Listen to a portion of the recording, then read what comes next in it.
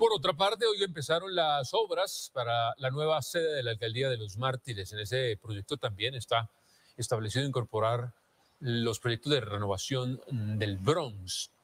¿Qué más detalles dio el distrito, don Miguel Porras? ¿Cómo le va? Jonathan, muy buenas noches para usted y todos los televidentes. Según el distrito, el plazo establecido para entregar estas tres obras es de 18 meses. Además, ratificaron que el presupuesto para estas infraestructuras es de 38.700 millones de pesos.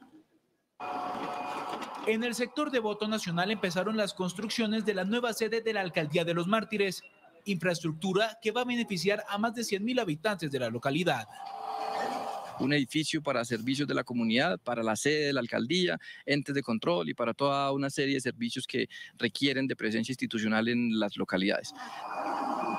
El proyecto va a aportar la presencia institucional y va a tener un presupuesto estimado de 38.700 millones de pesos. Hace cinco años fue la intervención del Bronx, que todos ustedes conocen, cinco o seis años, y hoy, digamos, eh, revive la esperanza al ver que las obras son una realidad. las tres obras están financiadas, las tres obras tienen estudios, las tres obras tienen diseños. Estamos afinando los últimos detalles de licencias para poder dar inicio a las otras dos. Otra de las obras que se va a inaugurar es el Bronx Centro de Talento Creativo. El edificio va a tener 32 programas de formación y va a ayudar a 4.000 estudiantes para que los jóvenes de Bogotá puedan tener acceso a la educación en temas de las industrias culturales y creativas que existen. Y el tercero de los edificios es el Bronx Distrito Creativo, que es un espacio para la cultura, para la creatividad, para el emprendimiento y sobre todo para las industrias culturales y creativas de la ciudad.